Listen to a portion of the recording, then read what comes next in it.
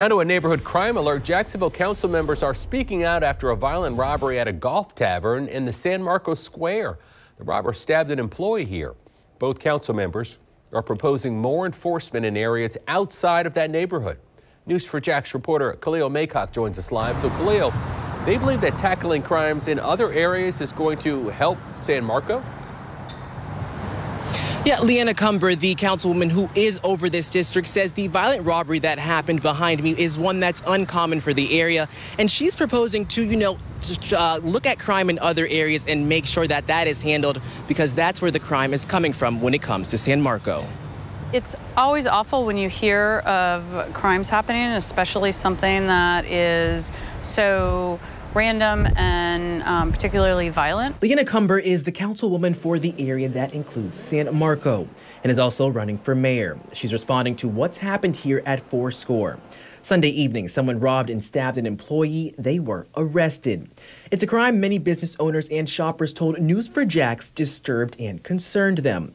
News4JAX looked at JSO's crime mapping tool. From July to now, there were 86 crimes committed in a half mile surrounding Fore Score. The top three were theft, car break ins, and assault.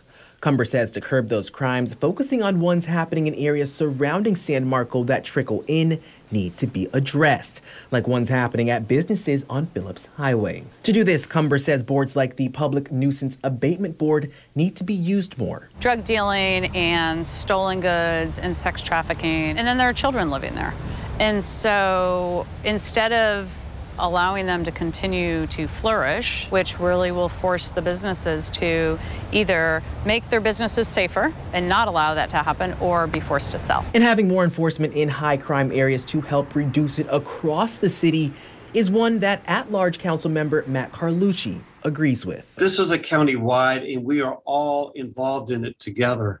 And there's no one magic, you know, solution to this issue. And so reaching out beyond our borders, I think, is important. And you're encompassing all of Duval County, all 840 square miles of it.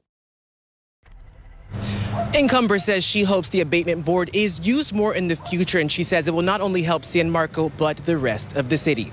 Live in Jacksonville, Khalil Maycock, Channel 4, the local station.